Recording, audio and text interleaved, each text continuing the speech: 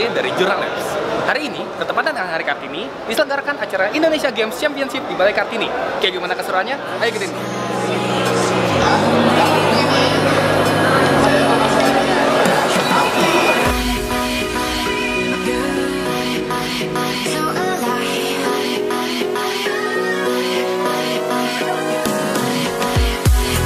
Bertepatan dengan Hari Kartini tanggal 21 April kemarin, Telkomsel mengadakan Indonesia Games Championship yang diselenggarakan di Kartika Expo Balai Kartini. Acara ini merupakan ajang kompetisi sekaligus gathering bagi para penggemar game. Acara ini juga merupakan puncak dari rangkaian kompetisi game di mana babak kualifikasinya sudah diadakan sejak 23 Maret di lima kota besar, yaitu Medan, Bandung, Surabaya, Malang, dan Makassar. Untuk game yang dipertandingkan sendiri dibagi menjadi dua jenis, yaitu PC dan mobile games.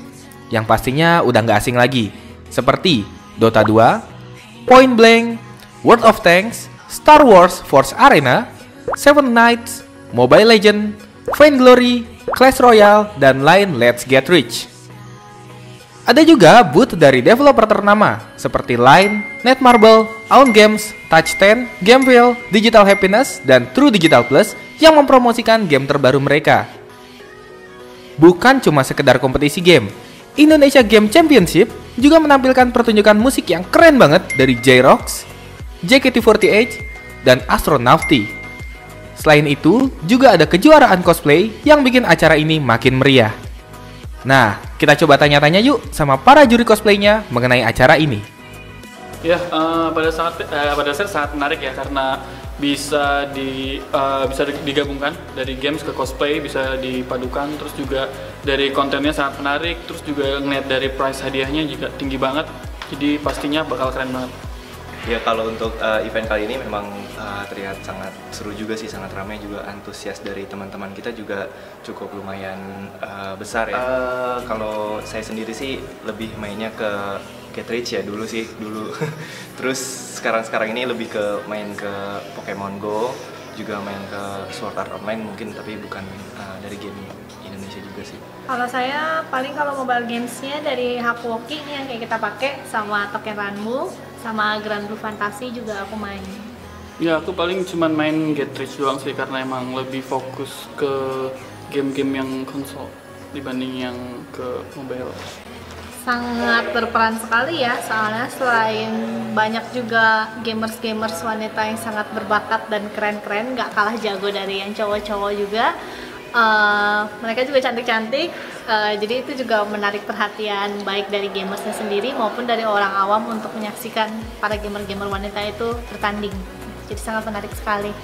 Harapan dari uh, kalau dari saya sendiri sih untuk dunia games Indonesia sih ya pasti uh, harus bisa lebih daripada sekarang untuk meraih apa uh, apa sih kejuaraan-kejuaraan. Kalau bisa nggak cuma di Indonesia aja di dunia juga. Karena dilihat dari uh, di Indonesia sendiri gamers itu banyak banget ya.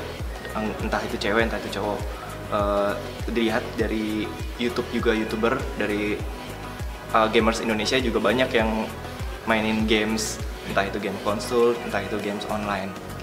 Ya pasti kalau dari saya pribadi bisa uh, mereka bisa lebih berprestasi di kancah internasional karena pada dasarnya kan untuk mindset orang di beberapa untuk di beberapa orang berpikir kalau games itu untuk hal-hal yang buang-buang uang atau yang eh, masih cenderung ke yang negatif. Nah mereka bisa nunjukin kalau mereka masih bisa berprestasi walaupun hanya eh, dengan dengan cara bergame dan bisa berprestasi di luar negeri.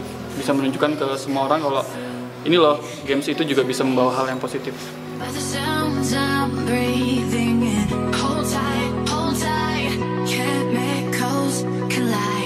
Ya untuk uh, game feel kita hari ini sebenarnya pengen promosi game kita yaitu War of Crown. Uh, sebentar lagi mau launching kan. Uh, kita sore ini bakal ada conference. Kita pengen memperkenalkan kepada user tentang War of Crown. Uh, gamenya itu sendiri uh, turn based strategy uh, yang genre yang di mana sangat jarang sekali di mobile ya. Jadi maka dari itu kita sangat excited banget untuk game ini. Jadi game ini memiliki beberapa fitur menarik seperti karakter desain menarik sekali, animasi masih bagus juga. Dan juga selain itu untuk acara ini kita bawa beberapa game lama kita kayak Dragon Blaze dan juga Kritika. Ya, karena lagi demonya di TV ini lagi Kritika. Nah selain itu juga um, our sister company Komtuas hadir di sini untuk mengadakan kompetisi Summer Sword. Jadi kita mengundang beberapa high value user kami untuk acara ini dan melakukan kompetisi yaitu World Arena Battle. World Arena Battle itu update terbaru kita yang baru ada bulan kemarin ya. Nah, jadi kita mengundang user-user kita ke acara ini dan berhubung kita lagi promosi Warcraft juga, jadi kita mengadakan acara bersama-sama. Gitu. Ya. Bagi saya sih sedihnya sih selama setahun ini um, acara game itu udah berkurang ya.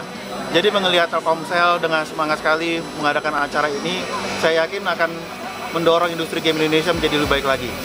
Um, sekarang ini baru acara pertama, semoga sih saya doain insya Allah bakal ada acara kedua, ketiga dan kita bisa ikut berpartisipasi juga. Dan seperti yang kan acaranya, ini baru hari Jumat tapi tempat sudah ramai sekali loh. Padahal ini orang-orang nggak sekolah atau kerja. gitu sih Pak. Ya. Oke, itu tadi hasil liputan kami di Indonesia Games Championship. Sampai jumpa di aplikasi dalam berita selanjutnya. Dua, tiga. Jangan lupa untuk Nonton Subscribe Jurnal Jurnal Apps video. Bye bye.